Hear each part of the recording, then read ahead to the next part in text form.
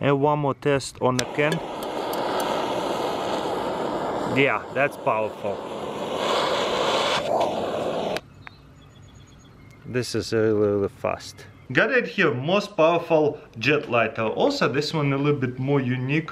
This one foldable. So, looks like more like for kitchen the advertising. So, almost like a kitchen gadget lighter. So, wow, a lot bigger than it looks like on the picture. So, yeah, so yeah, gives you all these little attachments to refill it. Let's start it out with the Zippo butane. Will it feel it good or will it spill? Oh, it's feeling really good. And it's starting to spill a little bit. Okay, adjust a little bit. Wow, that's power. And it's easily adjustable. And how does this fold?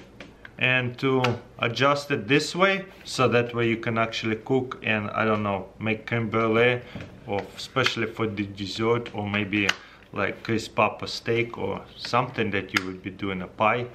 Uh, you can twist it like that or you can just hold it like that. But I feel like when you twist it it's a little bit more comfortable like this. And again adjust it. Unlock. Powerful this is really hard to see. I might turn it on in the dark so you guys can see. And it's really easily adjustable. That's insane. Let's go in the dark, see what it looks like.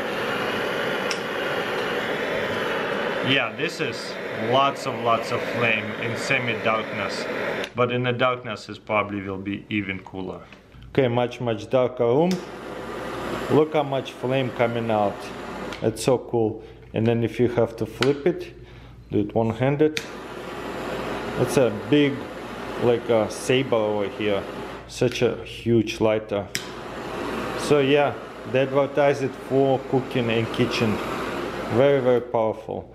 And whenever you lock it won't work. What if you lock it nope. Beautiful. Again really easy to spin it seems like doesn't have overheating issue. All this stuff in is plastic. We've been running it for a bit already now. And I don't feel any overheating. This is might be metal part. This is, seems to be plastic. But yeah pretty awesome. And one more test on the can. Yeah that's powerful this is really, really fast. And one more test on the can. That's crazy.